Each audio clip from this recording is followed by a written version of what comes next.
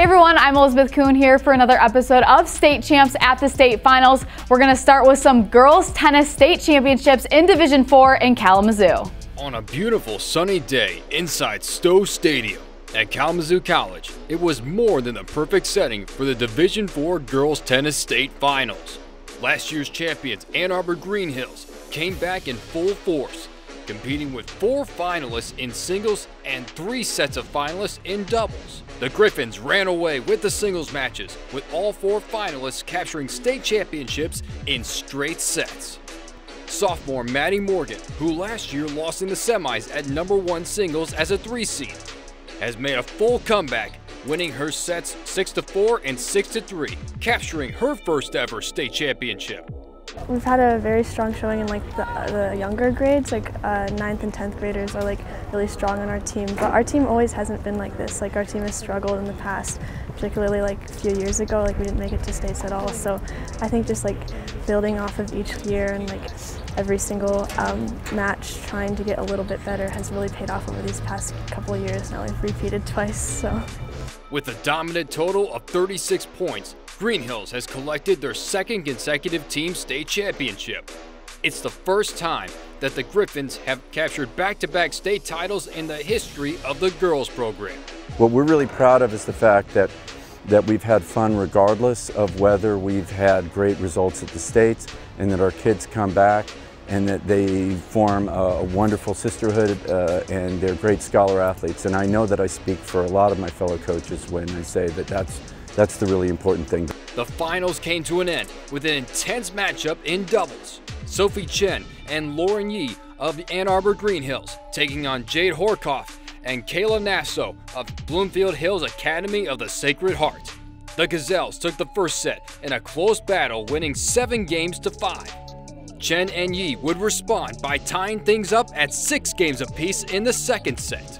On to extra games we go. The Gazelles with the advantage, Nasso puts over the serve, but the return shot goes out of bounds, and that is the result of the third doubles championship for Sacred Heart on the day. Nasso and Horkoff each winning their second state title in doubles, and the Gazelles finished in third place with 17 points. Um, it was awesome. It was amazing. I really enjoy playing with Kayla. We're really good partners, We make a good team, and it was a battle. It was a fight. Um, semifinals was hard for us, and they really challenged us in the last match too. But we pulled out with a win. The last point, you know, I had a gut feeling I knew we were going to pull through in the end. And, you know, our opponents were great players, and I knew it was going to be a fight. And we had lots of them every other time we played them. So that last point was like a weight lifted off my shoulder. I felt like we conquered the world. It was great. Grand Rapids West Catholic was very volley heavy and aggressive, and then this team was like not as volley heavy and they're better at ground strokers. So it was a tale of two, and so it was just they had a rough day of it because they just had so many different styles they're going at, but they molded and adapted and went double back when they needed to and went consistent when they needed to and they went aggressive when they needed to and they just did a really, really good job. And I'm really proud of them. I'm proud of the fight. We know we pride ourselves on having grit, gazelle grit, and it showed on day two. I'm Kevin Czerzinski, and we head over to Ann Arbor for the Division III Girls Tennis Finals. Grand Rapids Christian, Cranbrook, and Detroit Country Day always near the top on this day, but only one team will be crowned champion. We start off with doubles, Flight 3, in green from Cranbrook, Madeline Day and Sanvi Upadhyayala taking on Grand Rapids Christians Olivia Cook and Ava Jerk wearing white. It would be the duo Cook and Jerk from Grand Rapids Christian taking home the Flight 3 doubles crown in two sets.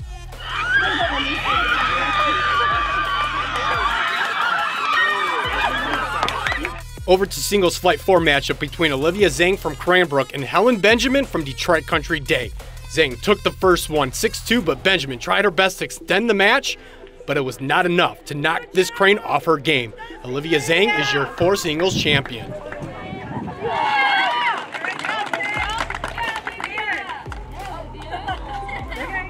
Now on to four doubles.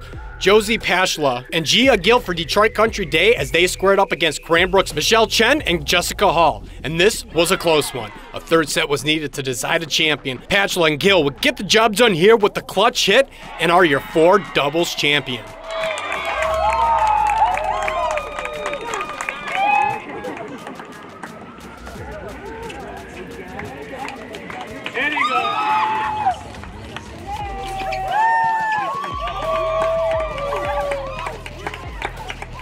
champion. three singles matchup saw Cranbrook Sienna Illich taking on Melanie Bandara from Detroit Country Day. The first set going a little extra with Illich taking that 175. The junior Crane would take the next one to win the third flight singles championship.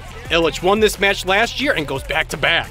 Um, it was a special and tough match. Um, it was very competitive. She played well. She played great, and uh, we had a lot of fun. I just, you know, I stuck with it, and one of my um, like things I always go to is I never give up. Like no matter how far down I am, I always try and come back and give it my all and give it my best shot. Next up, two doubles. Grace Zhang and Sophia Koza from Cranbrook battle against Detroit Country Days Arya Sai, Radhika Krishnan, and Brooke Lopez. The ladies from Cranbrook Kingswood took this one and two, both at 6-2. Zhang and Koza are your two doubles champions.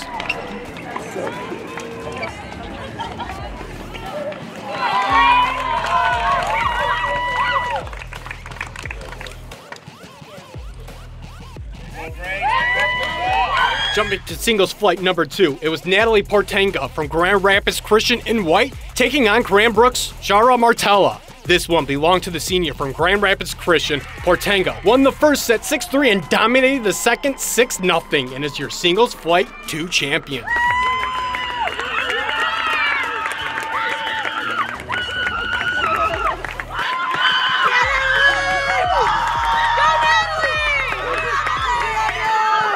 Closing out the last doubles match of the day, and it's the first flight. Martin Norlander and Peja Lyles in white from Detroit Country Day, and in green for Cranbrook, Darn Kraus and Kaylee Lala.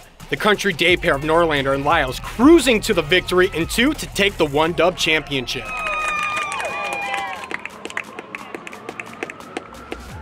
And finally, the first flight of singles match was a clash between Bryn Uckman from Grand Rapids Christian and Julia Gurn from Pontiac Notre Dame. It would be the sophomore from Grand Rapids Christian easily taking home the crown in two sets.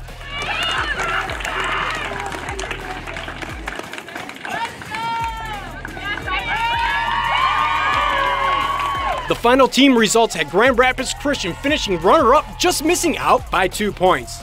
And it would be the Cranes from Cranbrook Kingswood capturing their second title in a row and is your 2023 Division III Girls Tennis Champions.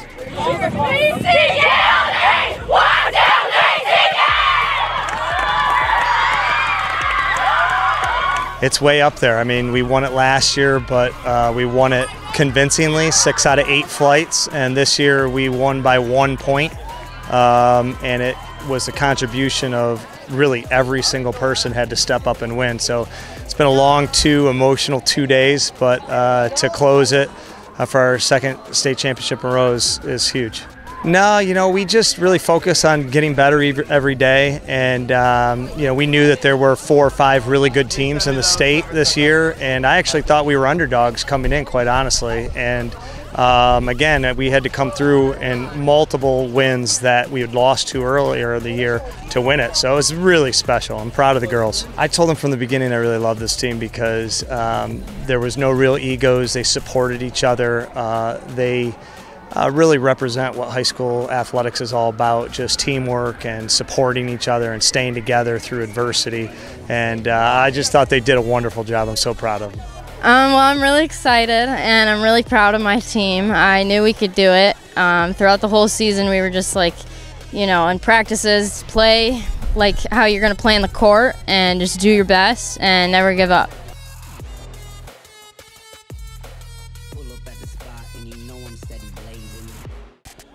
I'm Greg Molson at the Midland Tennis Center for the Division II Girls Tennis State Finals.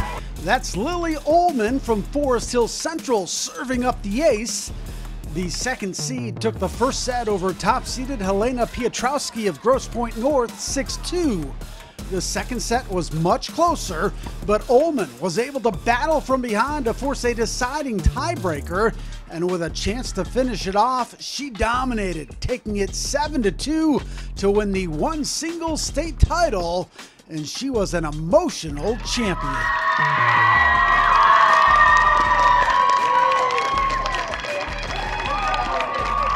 That's crazy. I'm the first one in FHE history first female one single state champion. And I've been dreaming of this for over a year.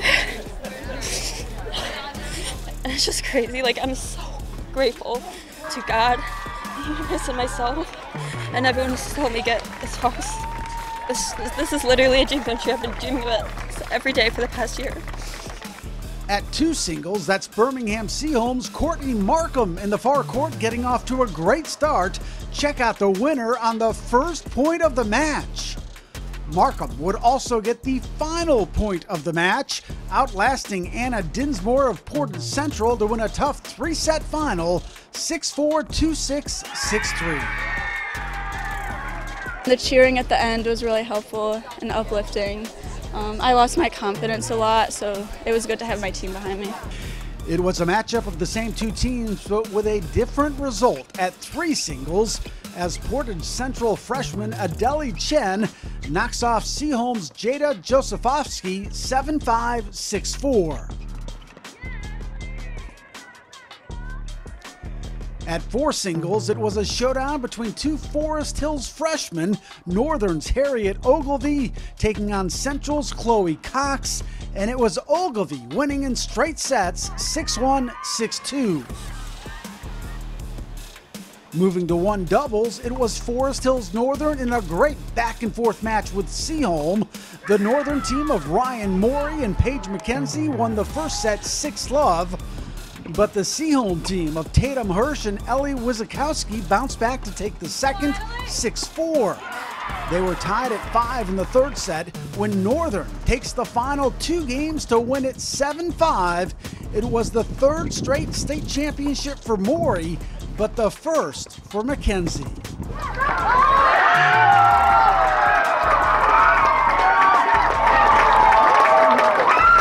Yeah, I mean, it, it feels pretty good. I mean, I was more just, I was proud of my partner, you know, like I was so she proud of you, stepped too. up, like she was four doubles last year and she stepped in to play with me and she made me so proud, so yeah. Forest Hills Northern was hoping to win its fourth straight team state title, but the Huskies ended up tied for second with their crosstown rivals from Forest Hills Central, each team with 27 points.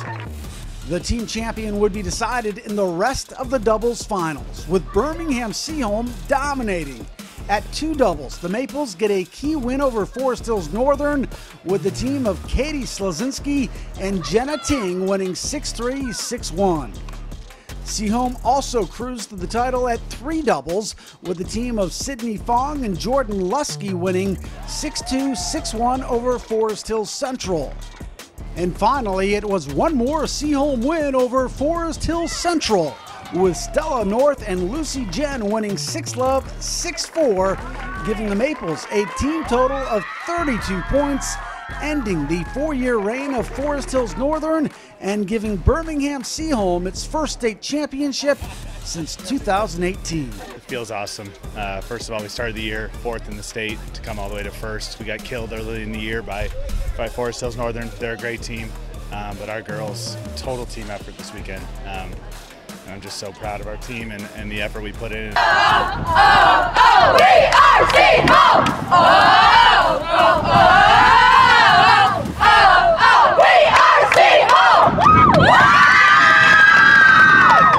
I'm Chris Gorski at Hope College for the Division One Girls Tennis State Finals.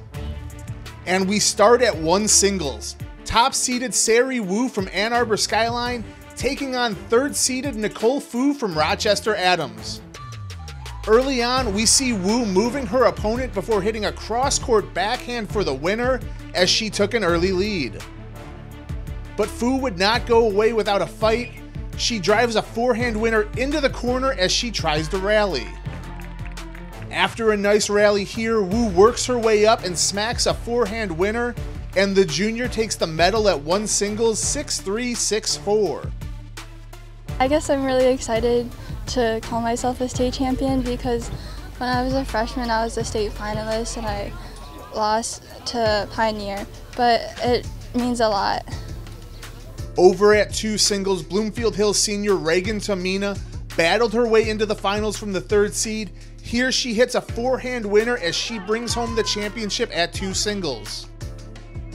Next up, we head to one doubles. Top seeded Grace Zhu and Nika Tanako split their opponents with the winner here, and they would lead a dominant showing in the doubles for the Colts.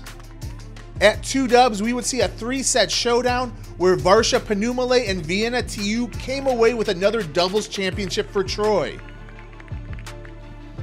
Next up at three dubs, we saw another three set match with Troy's Hannah Lee and Michelle Bake coming away with the medals for the Colts as Troy would finish second as a team on the day. At four doubles, Ann Arbor Pioneer would drop the first set before Noah Gluskin and Jessica Primus rallied to come away with the win for the Pioneers. I can't feel anything. Like my feet are numb and I love it and I'm so happy to be here. I'm just so happy that we won. Honestly, we came in with the mentality of let's just get through today and we've already met our seed. So let's just not be stressed on court and it worked out. Beautiful audience, like beautiful sport. I'm, it was really fun. Top seeded Sophia Lang would have an impressive day at four singles. She took her match in straight sets to give the Pioneers another first place finish. Oh, it's so nice knowing that hard work gets you so many nice things and all these nice moments that you can share and cherish for the rest of your life. And finally, at three singles, top seeded Juliana Pullen, granddaughter of coach Tom Pullen, would finish her high school career with a first place finish at three singles. I, I, grew up with Pioneer Tennis. My coach has been the, my grandfather has been the coach for 30 something years. I've grown up with this. I've been to the tournament since I was a little kid, and coming in my freshman year was, it was crazy because like I was finally on the team that I'd been, you know, watching my whole life, and I'm very glad to have been on this team. Ann Arbor Pioneer would come away with a team championship, claiming their third straight state title. I started, when I started coaching, it was with my sons. And now I've got my granddaughter. I will not be around for my great grandchildren, okay? I promise you that. It's really nice when it's all over with and they've come through, you know, like they have all season. We played well all season and it's, it's nice that we finished on a high note.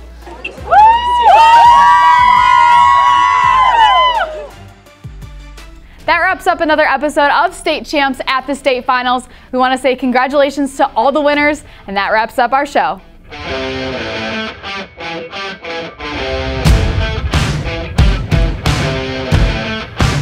State Champs at the State Finals is presented by Lawrence Technological University. Find out more about the athletic programs that is offered at LTU. Visit LTUathletics.com, the Michigan High School Athletic Association, promoting the value and values of educational athletics. The Michigan Army National Guard, the Detroit Athletic Club Foundation,